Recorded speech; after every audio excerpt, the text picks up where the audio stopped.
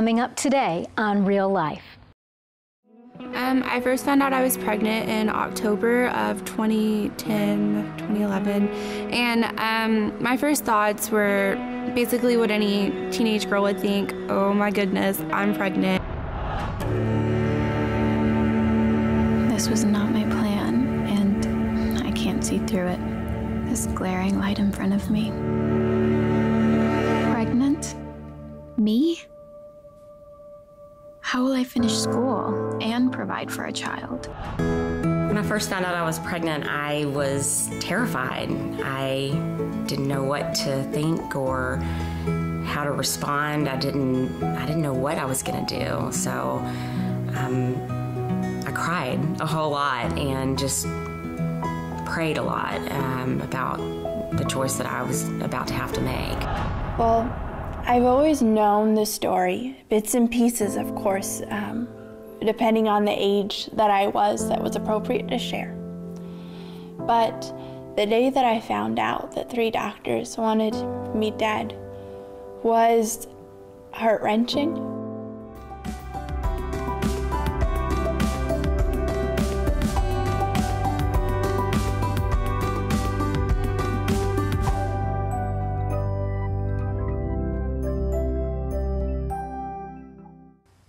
Hi, I'm Monica, and I'm glad you could join us today on Real Life.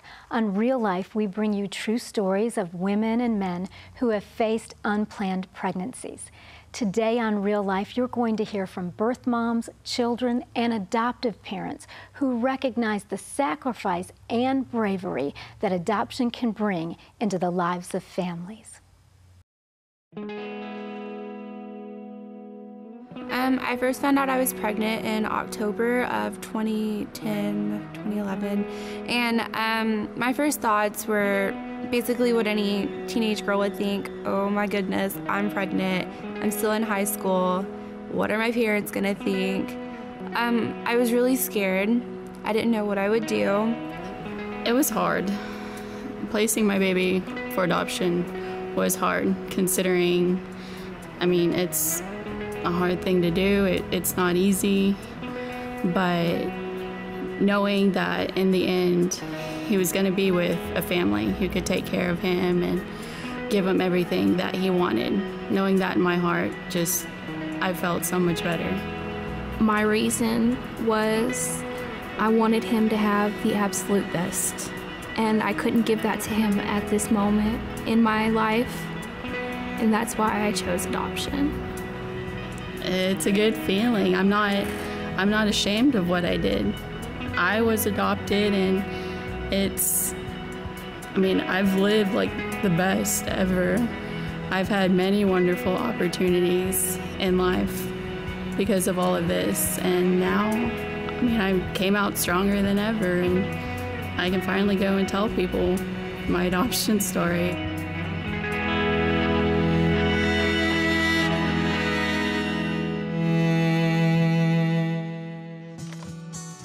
Think birth moms are superheroes because they're so brave. They have so much courage to say that they love their baby so much and they know that they can't take care of the baby, so they place the baby with another family that can give them a great life. Since I'm placing my child for adoption, that I've grown from my old lifestyle and um, I'm a lot stronger. I'm you have to be strong to go through this and it'll make you strong in the in the long run. When I've told my adoption story to other people that don't know much about it, I either got negative to where, you know, why are you doing this? Um, I'd rather struggle than give my baby away or I got positive reactions like, wow, you know, you're giving a family, a couple, a chance to be a family. When people ask me about adoption, one of the things that I really say a lot is that adoption is a great opportunity for the birth mom and the baby. Um, it's a great alternative to anything else that could happen. It gives a great chance for uh, the birth mom and the baby to have an amazing life, even if they're not together at the time being. I knew again that I was adopted, but I never felt a disconnect or a separation of any kind. Um, I've been so very loved throughout my life, so I've always loved that I'm adopted. It makes me who I am. Even though that that I uh, that my that my mom didn't really give birth to me, that she's still my mom. I want other people to know about adoption that don't know much about it. Um, just to, I want them to know the truth. It's one of the most selfless things that a woman can do for their child is to give them everything that they can possibly have in their life if the mother can't the mother and father can't exactly give that to them. You have to do what's best for your child and what you think is best for your child, not what's best for you and what feels good for you right that second. You have to put your child number one. And that's what I did. I put Mariah number one. I put my feelings on hold and aside and did what was best for her. I want my son to know that I placed him for adoption for love. I mean, I love him enough to have done this um, what I'd want baby Mariah to know about me is that I love her so much and I wanted to give her the best life that I possibly could. And I knew that this would, adoption would be the best life that I could provide for her. I have no idea what I would say to my birth mother, except that I'm just so proud of her for making the decision that she did. I always tell them that, I just tell them thank you. Um, and I think the first time I said that, it kind of blew their minds because they expect, you know, I guess just I'm mad at you, I don't love you, why did you do this to me? But um, I just tell them always that I'm thankful to them and I'm grateful to them. Probably say that that I'm living a good life and that she uh, she made a good decision. Learn how you can become a hero at bravelove.org.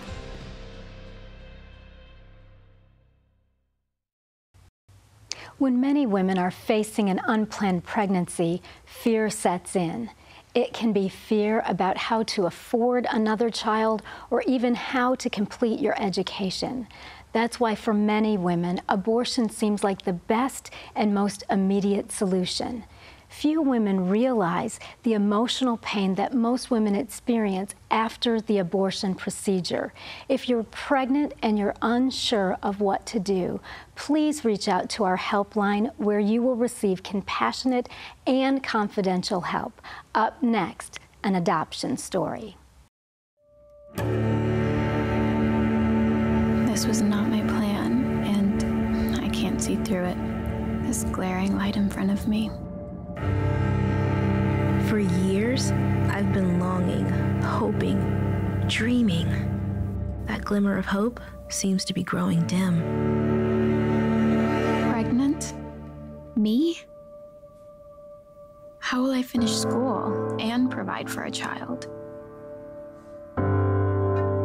Where, who do I go to? I just am totally unprepared.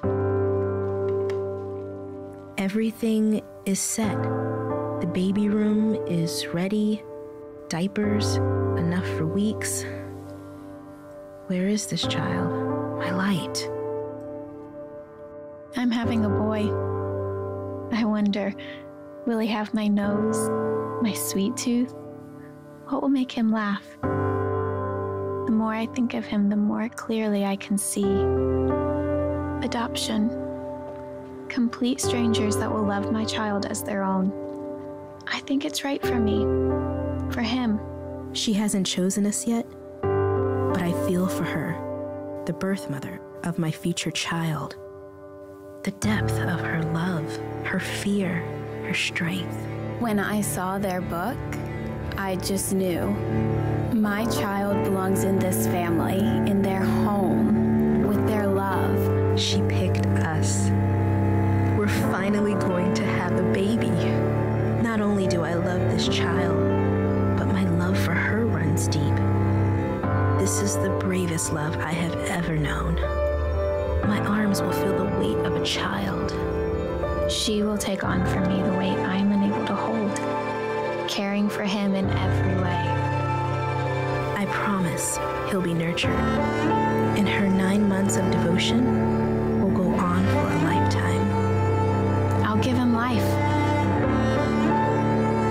teach him the art of living. She will be the mother I am just not ready to be. Her sacrifice has met my longing. Because of her, I can see my future again.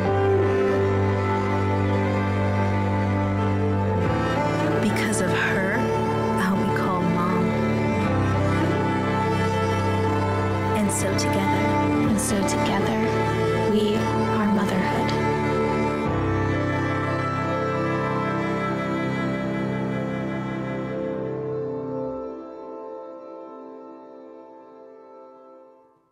All of us here at Real Life agree that birth moms are heroes and are to be commended and to be thanked for their very brave love to choose life for their baby and place their baby for adoption because they're not at a place that they can parent yet.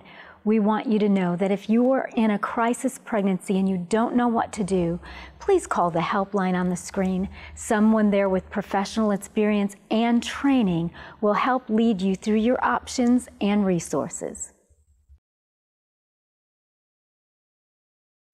My dearest Braden, there's so many things that I want to tell you and even more questions that I long to ask, but finding the right words have been a bit of a challenge for me.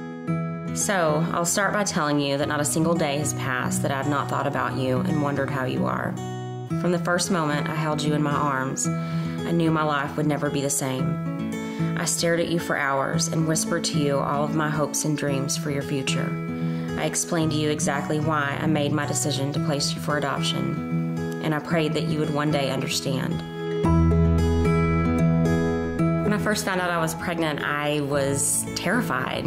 I didn't know what to think or how to respond. I didn't I didn't know what I was going to do. So um, I cried a whole lot and just prayed a lot um, about the choice that I was about to have to make. I knew that at that point in my life, abortion was not something that I was ready to go through.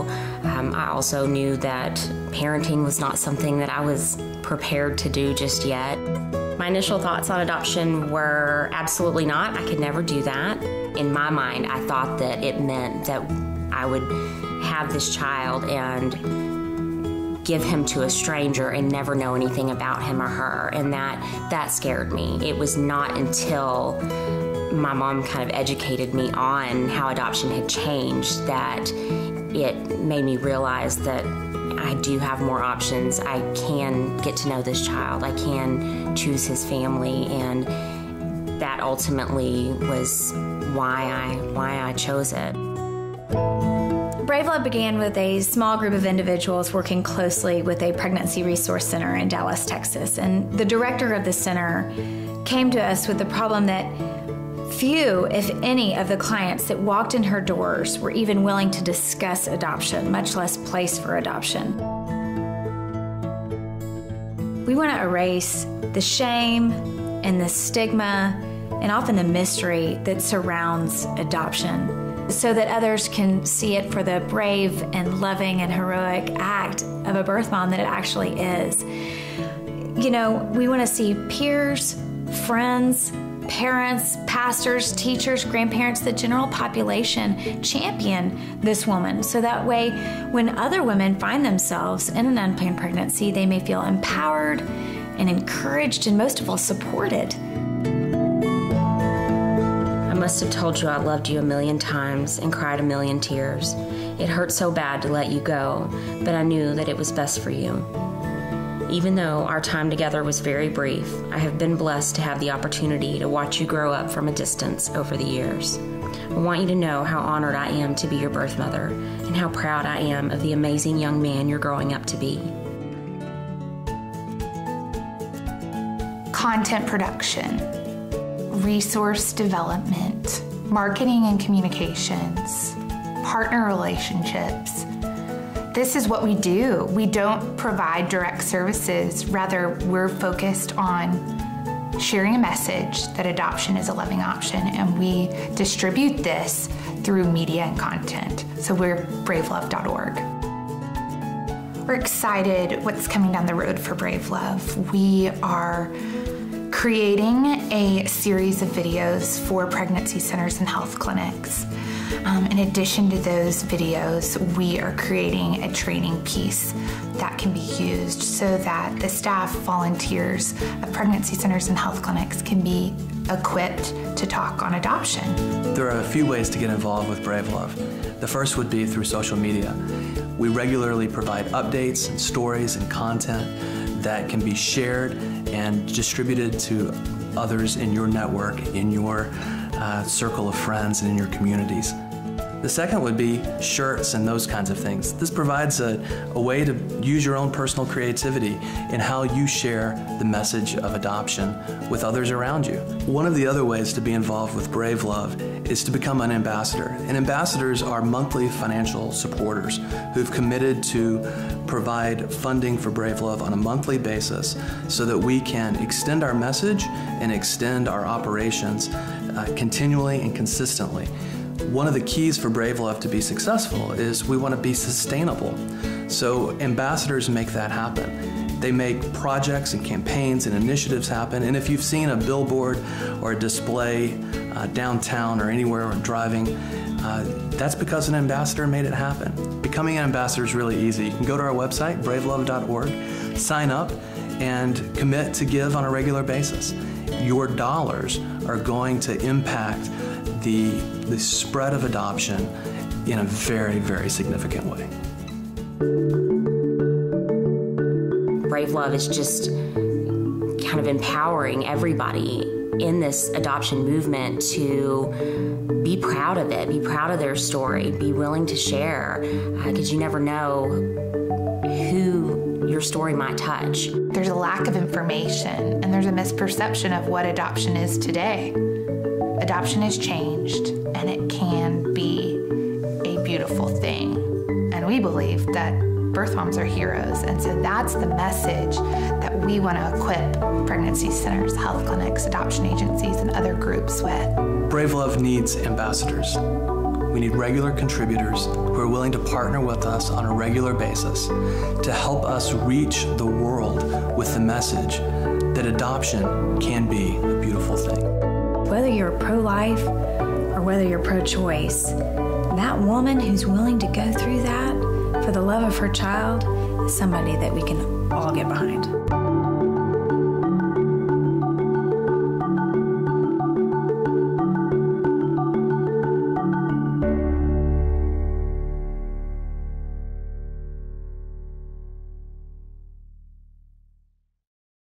Our mission on Real Life is to share God's unconditional love for all people and the value of every life.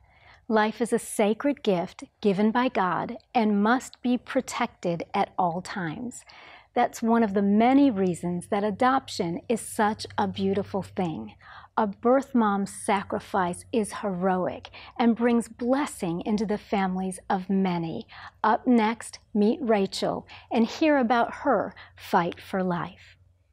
Well, I've always known the story, bits and pieces, of course, um, depending on the age that I was that was appropriate to share. But the day that I found out that three doctors wanted me dead was heart wrenching.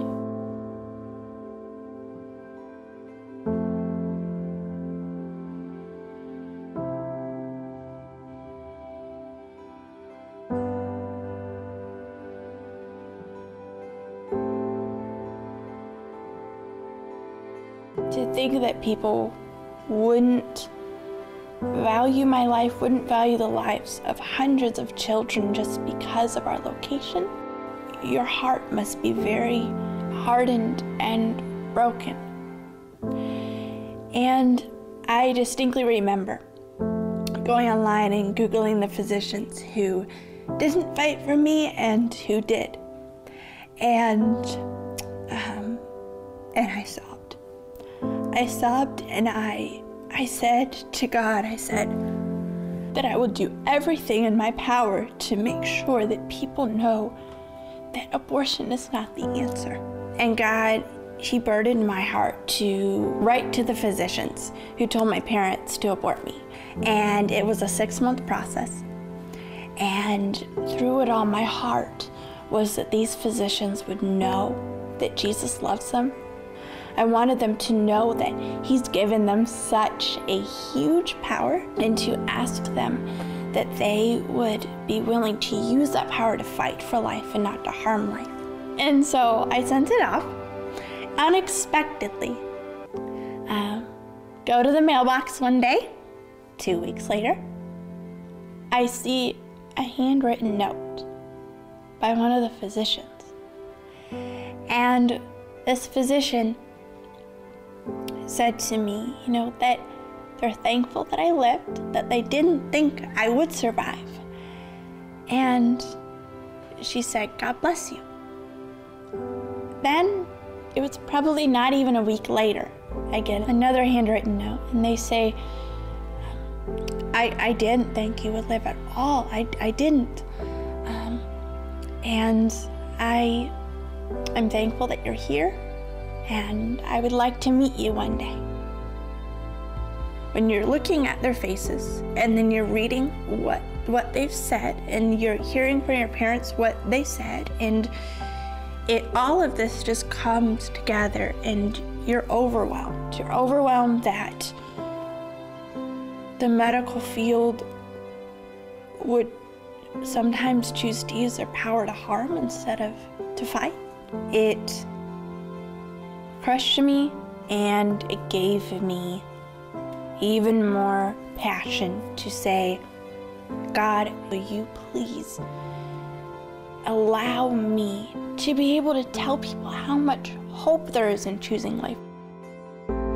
I would have missed out on two amazing parents, on getting to hear people's stories, getting to meet the most awesome people in Uganda, getting to squeeze and give hugs to so many Ugandan little children. And I would have missed out on a life that is such a joy. Thank you to liveaction.org and Rachael for sharing her story. A lot of what we've talked about here today on Real Life is adoption, the value and the blessing of a birth mom giving her child up so that another family can adopt that child. I want to lead us in a prayer in just a moment. Father, we come to you right now in Jesus' name. And we thank you, Father, for every birth mom that's watching, for every woman that has made that sacrifice to give up her child, to allow her child to have life and to be placed into a family where they will be loved and protected. We pray blessings over birth moms everywhere. And Father, for those that are watching that are adopted, I pray that each one will know how much you value them and how much you love them. God, we thank you for the many blessings that you show. And I ask you, Father, to show yourself real to each person that's watching. God, we pray it in Jesus' name. Amen. That's it for today on Real Life. We'll see you again next week. If you would like to share your abortion related story, please contact us through our website, www.reallifetv.life or through our Facebook page at Real Life CTN. If you need help in dealing with either an unplanned pregnancy or regret from a past abortion, please contact the H3 helpline at 866 721 7881. Thanks for watching. See you next week.